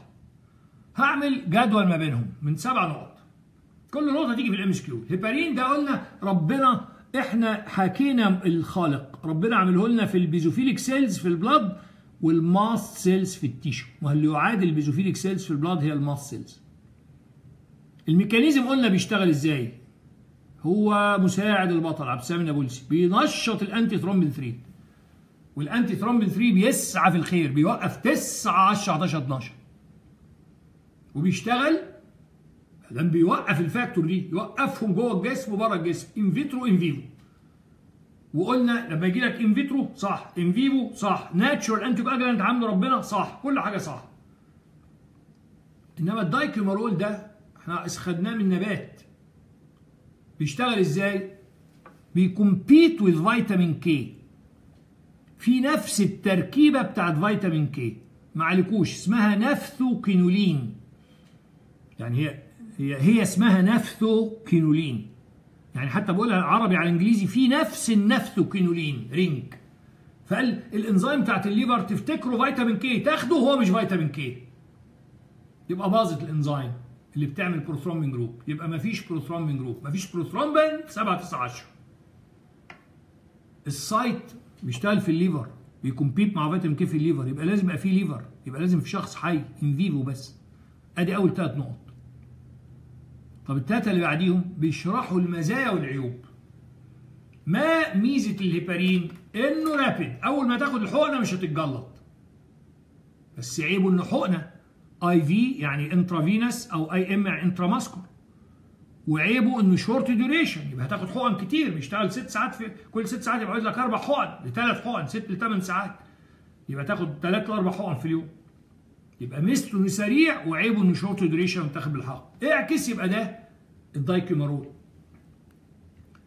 slow بطيء ده عيبه. بس بيتاخد بالفم orally ويقعد long duration حبوب ومدى طويل. طب النقطة السابعة دي متفردة اللي هي ال antidote يا ولاد الأدوية دي لازم تتاخد في ال hospital في البداية على الأقل. لأنها ممكن تقلبك يعني تمنع التجلط لدرجة تموت من نزيف داخلي. فلازم لما تمسك قنبلة تبقى عارف كيف ت deactivate إزاي توقفها تبطلها. من يبطل ال dicumarol؟ ال dicumarol بي compete مع فيتامين K بمنطق الكثره تغلب الشجاعة يبقى فيتامين K. لما تديه بكثره هيرمي ال dicumarol بره وهو يشغل إنزيم. أما الهيبارين ب protamine sulfate دواء اسمه protamine sulfate. وفي الحالتين ممكن تستعيد أو تستعوض الحاجات اللي نقصت بإنك تدي fresh normal blood transfusion شوف واحد normal عنده ال 12 factor تاخد منه blood و fresh ليه fresh ما أنت فاهم. عشان في factor stable و factors labile مش stable يبقى أهم كلمة هنا fresh blood transfusion من واحد normal يعني إيه antidote antidote يعني عقار يوقف عقار. كل نقطة في السبعة دول سؤال MCQ قسمناهم إزاي؟ ثلاثة مقدمه ال origin وال mechanism وبيشتغل فين ال site؟ وثلاثة العيوب والمزايا. ال onset وال duration وطريقة الأخذ. وأهم حاجة إيقاف القنبلة. عقار يوقف عقار نسميه antidote طيب على فكرة إحنا غالبا هنخلص ال hemostasis بس ونرجع للغد بإذن الله. ما تبقى عشان ما نتقلش عليكم. كفاية عليكم كده. ولسه. في شوية وقت. نيجي disorders of hemostasis أمراض ال hemostasis يبقى دي عندنا بقى هتبقى اللوحة ما قبل الأخيرة. Disorders of hemostasis أمراض ال hemostasis هتاخد شك ثلاث أشكال. واحد بيتعور وما بيعملش hemostasis يبقى excessive bleeding إحنا قلنا لازم يتلازم الإصابة مع ال hemostasis يبقى في إصابة بدون hemostasis يبقى excessive bleeding سيول الدم. أو جلطة بدون إصابة يبقى excessive clot formation طب ده حاجة متوقعة. أنت قلت لنا الإصابة لازم تتلازم مع ال hemostasis فهنا إصابة بدون hemostasis يبقى excessive bleeding جلطة بدون إصابة يبقى excessive clot إنما المفاجأة إن في مريض عنده excessive bleeding and clotting الاثنين نزيف وجلطات هنشوفها إزاي. طيب بص معايا. أمراض سيوله الدم نوعان. طالب ذكي قال لي أنت قلت لنا إن الجروح الصغيرة زي ال pin prick غير الجروح الكبيرة. ال pin prick بنعتمد على ال platelets بس مفيش جلطة. خلاص في ال pin prick. إنما الجروح الكبيرة بنعتمد بالإضافة على ال platelets على التجلط. فعشان كده عندي نوعين من الأمراض في سيوله الدم الطالب فاهم قوي. coagulation defect يعني عنده جروح كبيرة ما بيعرفش يعمل coagulation أو platelet defect يعني في الجروح الصغيرة ما بيعرفش يوقف النزيف بدون جلطة. طالب بيفكر. تاني ال platelet defect شخص أما تشكه بدبوس ما ما فيش vasoconstriction platelet plug طب يبقى ده المرض ده يسموه إيه؟ يسموه purpura الطب العام بيبقى شكله إيه؟ منقط petechiae. خلاص؟ واللي هيبقى طويل عنده بس وما عندوش defect في ال coagulation factors يبقى ال coagulation زي الفل. يبقى الطويل عنده بس ال bleeding time حفظتها الأجيال بطريقة لطيفة قوي كلها بحرف ال B أو ال P مجازا لأن إحنا ما عندناش في عربياتنا B و P يبقى في ال purpura العام بيبقى عنده petechiae نقط صغيرة. ال defect في ال platelets بحرف ال P وبعدين الطويل bleeding time بحرف ال B هنا فاضل نقطتين بس عاوز أقولها في عجالة أو ترجع للمحاضرات. هو ليه سموها purpura لأنه الجو... تخيل أنت طول النهار إحنا بنخبط كده فيحصل ال capillary تفرقع يطلع نقطة دم حمراء تحت الجلد. لو ما فيش platelets تعمل plug ولا constriction يتاخد منها الاوكشن تبقى لونها أزرق. أحمر مزرق. تبقى purple بنفسجي purple in color عشان كده سموا المرض purpura ولأنها جروح صغيرة فبتبقى نقط دم تحت الجلد. purpura petechiae ال defect فين؟ في ال platelets بحرف ال P اللي طويل bleeding time الطلبه بيقولوا بن... بنسمعك في الامتحان. purpura بحرف ال P petechiae بحرف ال P ال defect في ال platelets بحرف ال P اللي طويل bleeding time بس coagulation time normal خلاص؟ طب في كام نوع؟ يا كم يا كيف؟ لو ال platelets ناقصة كما يسموا ده thrombocytopenic purpura يعني العيب إن عدد ال platelets ناقص. هنا بقى في سؤال ام مهم جدا لازم يبقى ناقص عن كام؟ إحنا قلنا هم من 150 ل 450 ألف. ما يحصلش المرض إلا لو نقص عن 50 ألف. يعني عندك reserve رهيب. ده مهم جدا في ال MCQ لازم يبقى تحت 50 ألف في كل كيوبيك مليمتر طيب. وال bleeding time prolonged بس coagulation time normal طب النوع اللي هو عنده ال platelet عددها كويس بس ضعيفة. سموها thromboasthenic purpura وعلمتك كلمة sthenia إله القوة. ف asthenic يعني ضعف ضعف في ال platelets هنا العين هتشخصه إزاي؟ هتلاقي ال platelets count normal بس حطها في مختبر. اعمل pin prick شك الدبوس ونشف الدم اللي طالع بالنشافة من غير ما تلمس الجلد. تلاقي ال clotting ال bleeding ما بيوقفش بعد ثلاث دقائق يبقى معناها ال platelets آه عددها كويس بس مش شغال. bleeding time prolonged طيب انتقل للناحية الثانية coagulation defect مفروض عندنا ال von Willebrand ده أشهر مرض. قلناه بس ما بيدرسوهوش ما أعرفش ليه في البلاد العربية. ففاضل فيتامين كي والهيموفيليا فيتامين الهيموفيليا مرض rare نادر. خلاص؟ mostly هو قلنا نادر هو X-linked و recessive ده بالنسبة للاي وبي الاي والبي إكس لينكد وريسيسيف الفيميل حظها حلو. عندها 2 X حتى لو X بايظة الثانية تغطيها. يبقى تبقى حامل المرض بس. إنما ال male فقر. فقر طول عمره فقر. يعني المرض recessive recessive. بس ما عندوش غير X واحدة. فلو ال X بايظه يبقى المرض الناحيه الثانية فيه Y عشان كده قلت الهيموفيليا مرض خاص بال male اللي هو هيموفيليا A و B اللي هم الأشهر اللي هم 1 ل 4000 الهيموفيليا C 1 ل 100000 يعني انسى ال C دي خلاص؟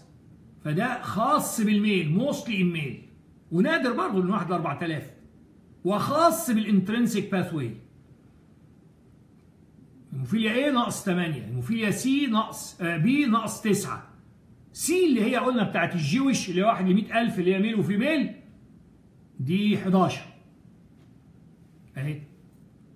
8 حتى سميناه غير إن هو هيموفيليا anti-hemophilic إيه سميناه anti-hemophilic globulin قلت لك ليه و B سموه كريسماس عشان الولد لقوه فيه و C سموها plasma thromboplastin antecedent اوعى تنسى انه في ال male بس ده A و B. C لا. C male و female حفظتها الأجيال إن الهيموفيليا مرض خاص خاص بالولاد خاص بال intrinsic يبقى اتنين خاص. فيتامين K العكس. common ويجي ولاد وبنات ويصيب ال intrinsic وال extrinsic. حلوة. يبقى ده خاص وده عام. ده male بس و intrinsic. ده male و female و intrinsic و extrinsic. إيه اللي نقص فيتامين K؟ أحكي لك زي قصة فيتامين B 12 وانت تعرف أسباب النقص؟ شوف وراء الخلق خالق يا ولاد. نقص فيتامين B 12 هيجيب لي أنيميا. إنما نقص فيتامين K يجيب لي سيولة دم وأموت. مش مرض. هموت. في العظمة الإلهية. عشان كده ربنا خلى فيتامين K لا نعتمد عليه في الأكل إنما يتعمل بالبكتيريا النافعة في ال intestine. الفيتامينات نوعان يا lipid soluble يا water soluble هي lipid soluble يبقى إذا امتص ال fat يمتص معاه فيتامين K دايب في ال fat.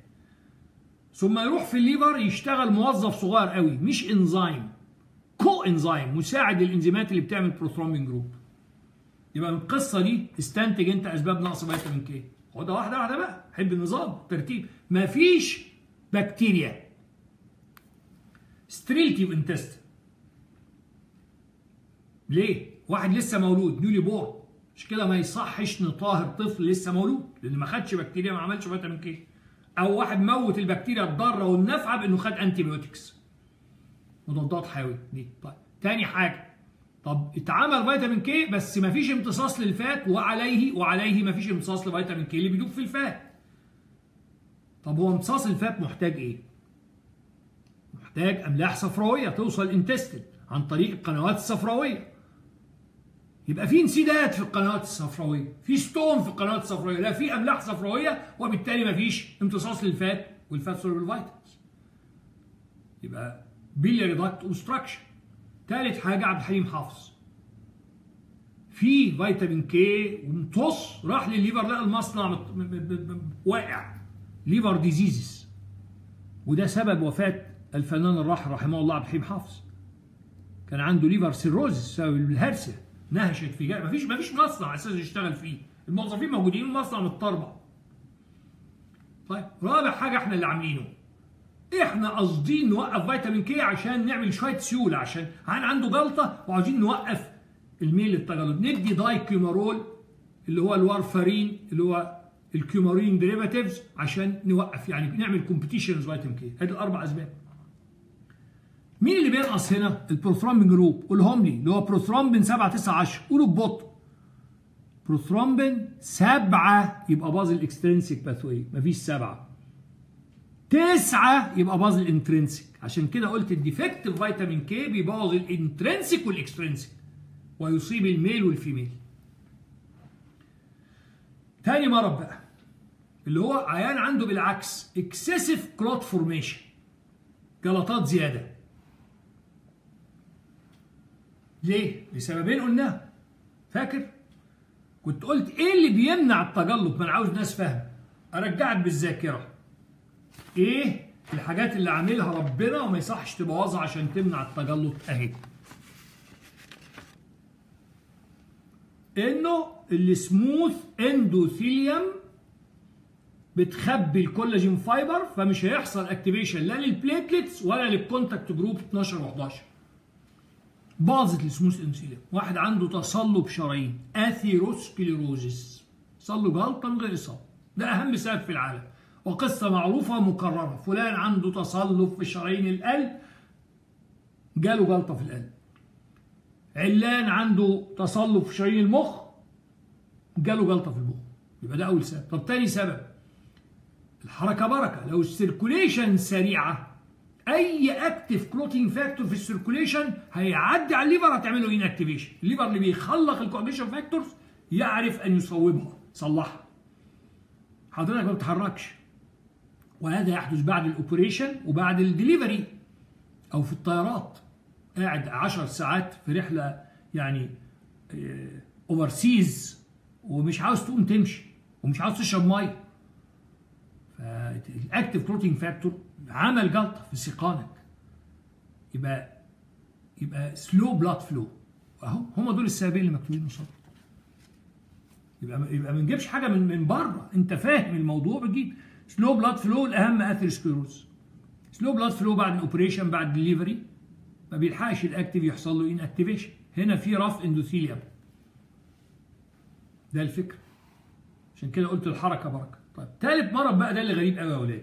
إن في excessive bleeding and coagulation الاثنين مع بعض. طب إزاي دي؟ أنا بقولها بطريقة لا تنسى. لا يصح أن يحمل الحي ميتا. إيه الكلام ده؟ يعني أم حامل في بيبي. في جنين. جنين بطل يتحرك. لازم تفكر إنه مات تروح لطبيب أمراض النساء. تستشيره. إنما الست دي ولا هي. مش واخدة بالها إنه حطيت جواها dead fetus طب إيه اللي هيحصل؟ retention of dead fetus in uterus لمدة weeks ال baby ده هيتحلل جواه. هيطلع منه tissue بالهبل وتمتص في الدم. tissue thromboplastin فاكر؟ ال tissue thromboplastin هتيجي اما تمتص في الدم هتيجي in contact مع factor سبعة. وكمية بقى tissue extract baby يعني جنين مات. كمية رهيبة من ال tissue thromboplastin. تنشيط رهيب ل factor سبعة و factor سبعة ينشط تسعة. يبقى حتى اشتغل extrinsic و intrinsic جلطات جلطات جلطات بالهبل. استهلكت ال coagulation factors استهلكتها تماما من كثرها كثرتها. وبالتالي آل الموضوع نزيف. مفيش coagulation factors أدي إزاي؟ لا يجوز أن يحمل الحي ميتا. طب واحد يقول لي الكلام ده خاص بالستات يعني إحنا مالناش دعوة الرجاله أقول له لا إزاي؟ اللي عنده غرغرينة في رجله لازم نبتر له رجله. اللي عنده septicemia عاملة له أنسجة ميتة في جسمه لازم نشيل أي dead tissue في الجسم. مفيش واحد يقول لك أنا عجباني رجلي كده معلش ما تقطعليش رجلي سيبها منظرها كده. سيبها إزاي يا بابا؟ ده dead tissue هيمتص منه tissue extract tissue thromboplastin ينشط سبعة بالهبل وسبعة ينشط تسعة extrinsic و intrinsic يخلص clotting factor تقلب clotting و bleeding excessive bleeding و intravascular clotting اللوحه الأخيرة يا أولاد. test of hemostasis إحنا قلنا عندنا مجموعتين الأمراض نوعان. في عيانين عندهم مشكلة في الجروح الصغيرة في ال pin prick اللي هي فكرة ال bleeding time نعمل pin prick مش مفروض ال pin prick شكه الدبوس تقف بجلطة تقف بال platelets فن test ال platelets بطريقتين. ن test الكم نشوف ال platelet count قلت في ال thrombocytopenic بنعيد الرقم تاني في ال MCQ ما يحصلش غير لو نقصت تحت 50000 طب طب ال platelets عددها كويس بس ضعيفة اللي هي thromboasthenic purpura الأولانية اسمها thrombocytopenic نقص في ال thrombocytes purpura الثانية thromboasthenic نحطها في اختبار. شكك؟ بعد ما نعقم صباعك ونسحب الدم ننشفه بورقة نشافه اولا بأول من غير ما نلمس الجلد عشان ما نساعدش عملية ال coagulation مفروض ال platelets من غير جلطة أنت بتشيل الدم مفيش تغلط في في maximum ثلاث دقائق تكون وقفت ال bleed بال vasoconstriction اللي هو سببه ثلاث حاجات serotonin thromboxane A 2 وبعدين adenosine diphosphate وال platelet plug أكتر من ثلاث دقائق يبقى ال platelet دي عددها كويس بس ضعيفة. طب حتى لو عددها قليل برضه هيبقى prolonged ال bleeding time يعني ال bleeding time طويل في الحالتين العدد قليل ما بتشتغلش. آه بس لما بتبقى ضعيفة بيبقى ال platelet count بيخدعنا normal بس ال bleeding time طويل. ولا تنسى في ال purpura ال defect في ال platelet العيان عنده نقط لونها قرمزي purpura petechiae واللي طويل عنده ال bleeding time إنما ال coagulation time normal coagulation factor زي الفل. bleeding time طويل coagulation factor normal واذكرك تاني أمال مين اللي ناقص عنده الاثنين طوال؟ أشهر مرض ال von Willebrand disease اللي هو von Willebrand disease لأنه مهم ال factor 8 بتاع ال coagulation ومهم لل platelet reactions بتاعت ال bleeding عشان كده الاثنين طوال. طيب test of blood coagulation نعمل whole blood coagulation time هنا نحط الدم في أنبوبة شعرية وكل نص دقيقه نكسر حتة صغيرة من الانبوبه الشعريه خلاص؟ أما نلاقي فجأة بقى في خيط أحمر نازل يبقى دي جلطة. normally الجلطة 3 ل 10 دقايق يبقى هنا 1 ل 3 هنا 3 ل 10 إحنا يهمنا ال upper limit ما تطولش عن 10 ما يهمناش الرقم التاني ده. يعني في ال bleeding ما تطولش عن 3 في ال coagulation ما تطولش عن 10 ده يعتمد على إيه؟ على ال coagulation factors اللي هو prolonged إمتى بقى؟ في الهيموفيليا اللي هو مرض خاص. في ال males بس في ال hemophilia A و B intrinsic فقط. إنما vitamin K مرض عام. يصيب ولد وبنت males و females ويبوظ intrinsic و extrinsic لأن ما فيش ال prothrombin group ما فيش سبعة يبقى ال extrinsic باظ. ما فيش تسعة يبقى ال intrinsic باظ. طبعا مين التجربة اللي بتطول فيها الاثنين بقى بس مش كاتبينها لأنها يعني في البلاد العربية ما بيهتموش بيها اللي هي ال von Willebrand disease. طيب في بعد كده تجربة ال extrinsic وال intrinsic ما عليكوش تفاصيلها بس هقولها في عجالة. قلت ال extrinsic فيه factor واحد سبعة. يبقى ده بنختبره بال prothrombin time كلمة واحدة قبل time إنما ال intrinsic فيه أربعة factors. فبنختبره بتجربة فيها time برضه بنشوف time بس قبلها أربع كلمات. activated partial thromboplastin time بالعقل ال extrinsic سريع فمفروض يحصل جلطة بعد 14 ثانية. إنما ال intrinsic بطيء بعد 40 ثانية حتى حلوة. هنا 14 هنا 40 14 و40 14 و40 افتكرها. 14 و40 قلت لك مش إن دي كلمة هي اللي خلتها extrinsic ودي أربع كلمات خلتها intrinsic هنا حطيت ده معلكش. tissue extract إنما هناك حطيت surface activator طيب فيتامين K بايظ عنده الاثنين يبقى الفيتامين K هيطول prothrombin time وهيطول activated partial thromboplastin time إنما الهيموفيليا بايظ عنده ال intrinsic بس. عشان كده هيبقى طويل في. عشان ده سؤال MCQ اللي طويل عنده ال activated partial thromboplastin time بتاعت ال intrinsic بس هي الطويله إنما normal prothrombin time وده إزاي بن... يعني هسألك سؤال ذكي ونختتم بيه. لو أنت العيان معاه فلوس أنت عارف إن عنده يا نقص فيتامين K يا هيموفيليا. عنده coagulation defect انسى ال von Willebrand دلوقتي. قلت لك معاه فلوس يعمل عملية يعني تجربة واحدة عشان نعرف السبب. يعمل أنهي تجربة؟ طبعا ما يعملش ال activated partial thromboplastin time لأن دي طويلة في الاثنين. هتفرق إزاي؟ بتاعت ال intrinsic ما هو الاثنين بايظ عندهم ال intrinsic تعمل له ال prothrombin time اللي هو اختبار لل extrinsic اللي هو بايظ في فيتامين K فيبقى طويل في فيتامين K سليم سليم في الهيموفيليا. الهيموفيليا بايظ عنده ال intrinsic ال intrinsic مش ال extrinsic هيطلع normal ولا تنسى. في platelet petechiae bleeding time طويل coagulation time normal في ال coagulation defects اللي هم نقص فيتامين K والهيموفيليا.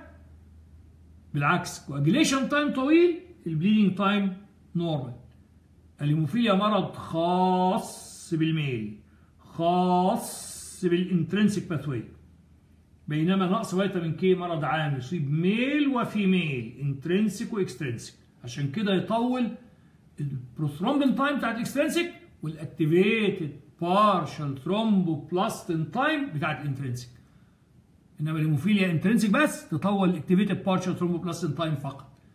إنما في ال prothrombin time normal هي دي أسئلة ال MCQ طب مين يطول اثنين؟ أشهر coagulation defects الزملاء مش واخدين بالهم منه. von Willebrand disease بسبب ال von Willebrand factor لأن ده بيساعد ال platelet يبقى يطول bleeding time لو مش موجود. وبيساعد factor 8 بتاع ال coagulation يبقى يطول ال coagulation time ده الوحيد اللي بيطول فيه اثنين وهو أشهر مرض 1% من الناس في العالم. لكن thank God هو الأشهر ولكن mild لأن ال bleeding في الجلد وال mucous membrane بس. بينما الهيموفيليا 1 ل 4000 A و B بس serious لأن المرض في ال muscle وال joints وهيموفيليا C ده خاص باليهود مالناش دعوة بيهم. واحد لكل 100000 وده male و female طيب هنكتفي بكده يا أولاد. ويبقى فاضل لي هدي session ثالثه في ال blood أنا معلش أنا متأسف وهدي session في ال introduction وأبقى كده عملت لكم MCQ revision رائع. اسمع أكتر من مرة وحل. الغلط بس هو اللي ترجع للمعلومة النظري تشوف غلطنا في إيه ليه غلط وتعيد الخطأ فقط. وفي النهاية بشكركم على وقتكم وأتمنى أكون أفدتكم ولم يبقى إلا الدعاء بالتوفيق. وفقكم الله. شكرا. يكفي هذا القدر لهذا اليوم. شكرا.